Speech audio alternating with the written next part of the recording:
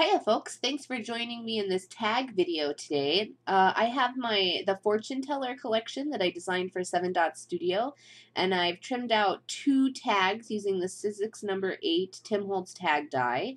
I've trimmed a, like about an eighth of an inch or a sixteenth of an inch all the way around the corners of the um, of the lacy tan colored one so that the turquoise one, the teal, could become a border. Right here I've got a Viva Las Vegas stamp stamp and some Black Soot archival ink and I am just doing some stamping in the background, very light and uh, just to add a little bit of texture. I'm going to use UHU, which is um, a really great mixed media uh, glue stick to glue the two tags together. And uh, if you go around all the edges of the tag that you want to be smaller, um, just using whether it's scissors or a paper trimmer, um, and you go the exact same width, it's really easy to line those tags back up just using the hole that's die cut at the top. I have these wings from Umwow Studio, and they're kind of a scrap that's been sitting around on my table I had been playing with, so they have some blue deco foil on them. And then this is some uh, titanium white golden fluid acrylic by Golden, and I guess I said that golden fluid acrylic. Uh, I added a tiny bit of water to just make it a, just a little bit more fluid, and then I splattered it on my tag base. I use a heat gun to start drying it, and then what it does is it dries around the edges, and I can pick up the paint while it's still wet from the middle, and I get these kind of cool open splatters. It's um, kind of a technique I just picked up pretty recently, and I feel like I've kind of probably been using it on everything, but I really like it, so I hope you do too. Uh, my splatters were looking a little linear, so I decided to drop in a couple bigger ones, to help spread some spread some of the splatters out, and then you can also see the technique a bit better that way too.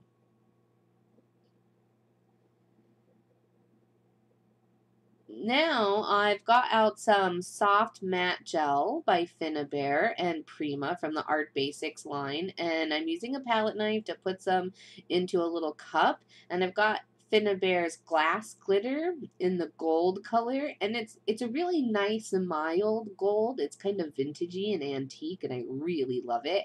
I also love the chunkiness of the glass glitter. It's so so retro and just a very cool, uh, very cool product. I'm using an Umwow Studio stencil and my palette knife to scrape that new mixture through and uh, to create some kind of fun, eh, they're like Moroccan tiles in the background, and the top left and the bottom right sides. Just one more thing that I'm building in the background with. I use my heat gun to start to dry it, and then I just leave this overnight to dry on its own. Oh, before I completely before I dried it over the surface, I did sprinkle a little bit of the glass glitter on top too because sometimes the glitter loses a little bit of its shininess when it's mixed into a medium and by sprinkling some on top I kind of like re-amplify the the glitteriness that it has. And then I let that dry overnight because I didn't want to mess with the chemical makeup that the that the products have. Sometimes when you add too much heat to them, they'll bubble or they'll warp or sometimes they'll burn. And so I just let those dry by themselves. Then I got out some uh, Prima Bloom spray. I believe this is the leather color, and I splattered that in the background. And these, these are my favorite. These are the big rusty stars from Finnabair and Prima.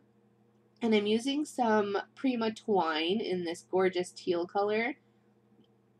I'm gonna wrap the two together, and and honestly, I guess like you do, you you live and you learn, right? So, I kept going and I kept struggling, and I do end up finding a little piece of wire to help me thread this this twine through because it's kind of like kind of like a baker's twine but in a jute form. So it's very thin but it has a lot of fibers. So that middle hole gets full really easily. Um, and also I should have uh, kind of reinforced the stars with a little bit of glue because even putting them together like that, they're still a bit wobbly, but but I kind of get it all in place here. Um, I put down some coconut fronds, some fiber, not fronds, fibers, coconut fibers, and uh, I'm going to use the matte medium now to kind of layer everything together. And this is the soft, I called it matte medium, I'm sorry, but it's the soft gel. So it's similar to matte medium, but it still has a nice thickness to it, and I can use it as a great adhesive here. And it dries matte, so it's not going to compete with any of the things I have going on if it happens to get out from underneath some of my pieces. So I put down the the coconut fibers and then I put down the Umwow Studio wings and those are the ones that have the deco foil on them.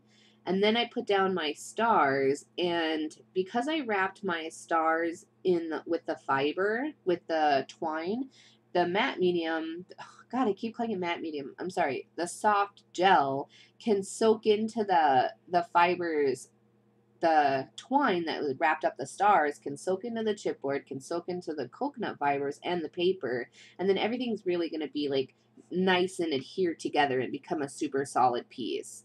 Um, I did need to put a little bit of chipboard reinforcements underneath the bottom of the stars just so that they didn't kind of sink down to the paper and they had the same um, thickness behind them as the top of the star got from the wings.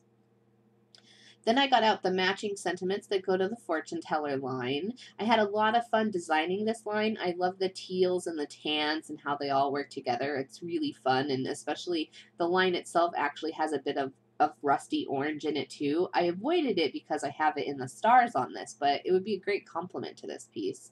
Um, then this is a piece of muslin that I have ripped. I always tear my muslin so that it gets these kind of sketchy edges. Very fun and very cool. And I'm using that sentiment, live inspired. And I have put it on the muslin and then sewn it onto the tag. And that's it. So thanks so much for, oh, I'm sorry, I guess that's not it. Um, I am going to put a little star right in the middle. The, the star layers looked unfinished, but I'm just going to use the, the soft gel to glue him in. All right. Thanks so much for joining me. I'm really excited to have been here for the Finnabair uh, guest design spot, and I hope you'll find me and follow me, and you can subscribe to my YouTube channel or find me on Facebook, and uh, I'll be glad to connect with you. Thanks so much to Anna and Tusia for having me.